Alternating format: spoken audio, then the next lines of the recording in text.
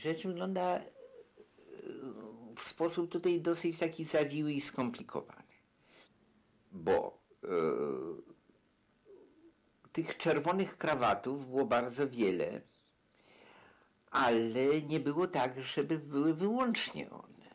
Tylko rzecz wyglądała w ten sposób, że duży procent ludzi o postawach aktywnych, i to aktywnych w różny sposób, między innymi można mówić o aktywności intelektualnej, nagle została ogarnięta nową wiarą.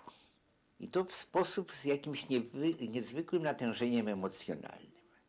I teraz w tej sytuacji, kiedy tym ludziom patrzył obłęd e, z oczu, co do których miało się tę świadomość, że oni w tym obłędzie gotowi są zrobić coś, czego dwa lata przed tym by nie zrobili. Człowiek miał nadzieję, że po pięciu latach może też już tego nie zrobią, ale że w tym momencie gotowi są no, na najgorsze rzeczy, że mogą na człowieka donieść i to w dodatku pytanie prawdziwie czy kłamliwie.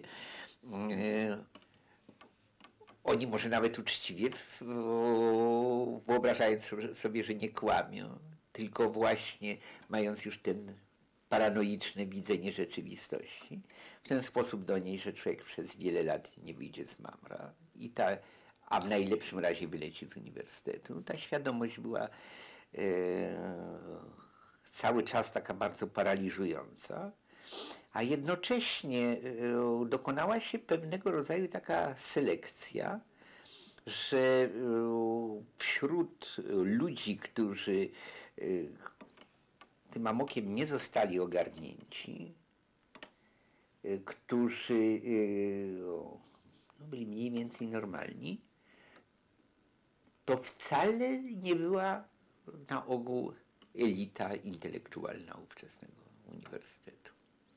Co jeszcze pogarszało sytuację, człowiek ma tę na, naturalną skłonność, naturalną skłonność, żeby wymieniać poglądy z ludźmi e, właśnie o jakiejś szczególnej aktywności e, intelektualnej.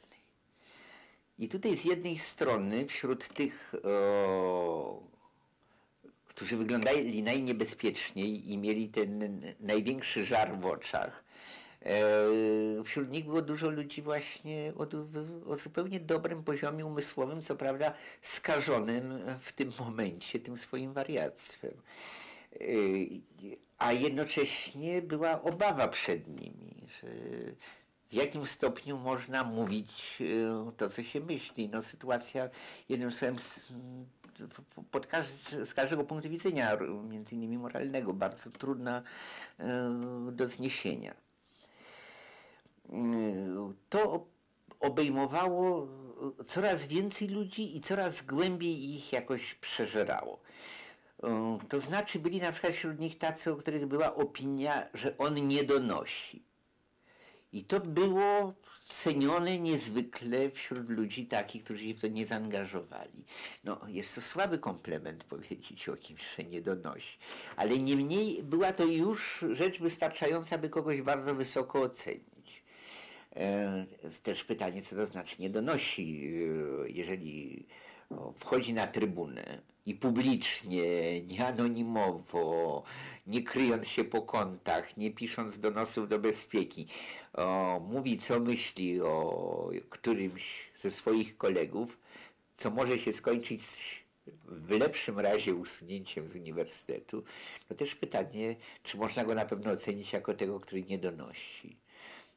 Jest to co innego jednak niż taka działalność już ochotniczego e, agenta, prawda.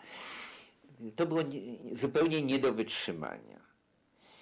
E, I najgorsze w tym wszystkim było to, że nagle się zauważało, że ci ludzie zaczynają myśleć zupełnie innymi kategoriami, w ogóle myślowymi i zupełnie jakby mieli inną psychikę. Jakby tutaj desant z Marsa wysiadł. Ja nie rozumiem, jak oni są skonstruowani ogóle. To było najgorsze, bo jednocześnie parę lat temu, e, dwa lata temu z tymi ludźmi normalnie byłem w stanie e, rozmawiać.